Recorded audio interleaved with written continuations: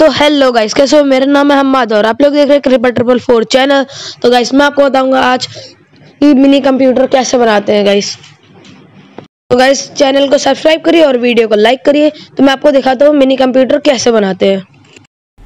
तो गाइस उसके लिए चाहिए होगा आपको एक कीबोर्ड और आपको चाहिए होगा, और गाइज़ आपको चाहिए होगा एक माउस और गाइस चाहिए होगा आपको यूएसबी हब और ओ केबल गाइस आपको ओ केबल 40 से 50 की मिल जाएगी और यूएसबी आपको 200 की मिल जाएगी। मेरे यहाँ तो इतना ही प्राइस है। और कीबोर्ड आप जैसे भी ले सकते हो। अच्छा आठ जी बी अगर आपको लेना है। माउस भी। तो गाइस मैं आपको असेंबल करके दिखाता हूँ। मैं आपको बता रहा हूँ कैसे करते हैं। गाइस आपको यूएसबी लेना है और कीबोर्ड का तार यहाँ पे लगा देना है। फिर आपको माउस का तार लेना है यहाँ पे। और आपको भी यहाँ पे लगा देना है। फिर जो यूएसबी हब का जो ये वायर होगी ये और आपको ओ केबल लेना है और इस पर लगा देना है। गाइस बहुत सिंपल सा स्टेप है आपको बस ये करना है।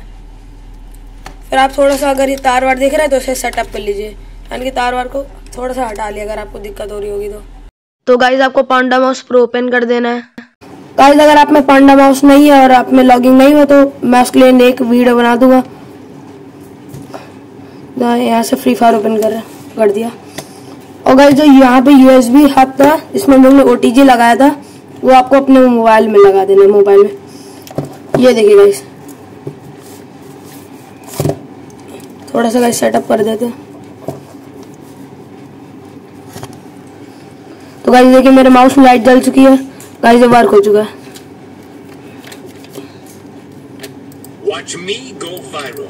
ये देख सकते हैं। मैं आपको ट्रेनिंग में दिखाता हूँ। आप ऐसे ही बना सकते हो घर पे mini computer panda mouse pro की मैं कैसे एक्टिवेट करते मैं उसकी एक वीडियो बना दूँगा जल्दी। आप ये देख सकते हैं।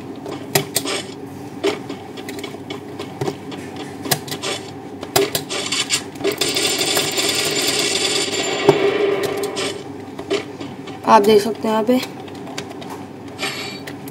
की मैपिंग भी मैं आपको सिखा दूँगा गाइस तो गाइस क्या बात है? मैंने आपको वीडियो में लाइक सब्सक्राइब करने को नहीं बोला तो आपने कुछ करा ही नहीं। तो गाइस वीडियो को लाइक करिए चैनल को सब्सक्राइब करिए बाय